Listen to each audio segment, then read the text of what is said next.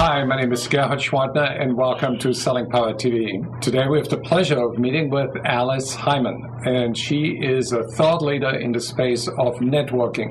Welcome, Alice.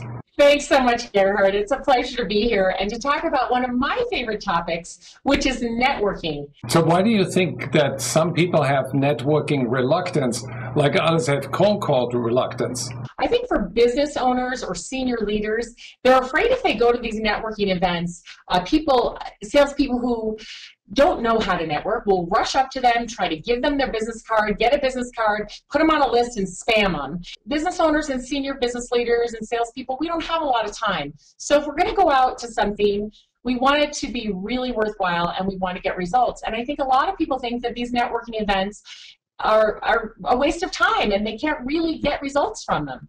Well, and there's another thing, which is uh, you want to network in the right room. And the biggest mistake I see salespeople making is they go where they think customers are. Well, that seems to make logical sense, right? I want to meet customers. I want to meet people who can buy from me. But if we do that, we're really narrowing and really probably looking for the wrong thing because you can't really sell at a networking event anyway. So how do you even know if these people are your customers? So I always say, whether you're a business leader or a salesperson, go out to a networking event and look for people who you can collaborate with, people who you might be able to develop into a referral source, and of course, people who could potentially be a customer. So, a lot of people don't know what questions to ask. Do you have any tips? Questions to ask are just questions that will help you get to know people. You know, do you come to these events often? What brought you here today? Have you ever heard the speaker? Um, you know, what kind of business are you in? Just in general, tell me about your business, uh, and get the other person talking. See, this is this is the key. It's really just the fine art of conversation. If we can just get the other person talking, we can learn so much. And we will learn in that conversation whether they are a good prospect. And if they are, they've now built enough of a relationship with us because we've listened to them that after the event, they'll probably take our call or answer our email. I think networking is really a time to slow down a little bit, ask questions and listen, and get people to tell you about themselves. And when you say, Where are you from originally to somebody, you're right. It takes them right back to their childhood. You know, we can really get some common ground when we talk this way.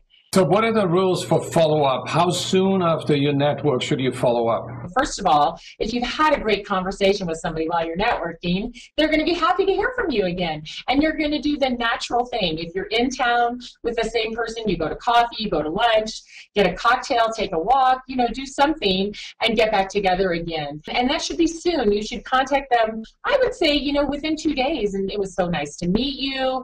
I loved our conversation about, and I even write a handwritten note, Gerhard. I mean, I, you know, I love to get a handwritten note in the mail. It's hand addressed to me. It's got a stamp on it. I open it, pretty card, nice note. Then, you know, follow up with something valuable. I love talking about this or that. Here's an article I thought you might really enjoy because of the conversation that we had.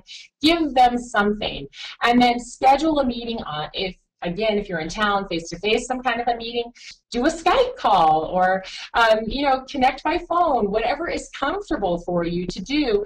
And again, don't try to sell at that point. You probably still aren't even sure if they're a prospect or not. Just get to know them a little bit more and figure out if you can do something for them. What about doing a selfie with a prospect?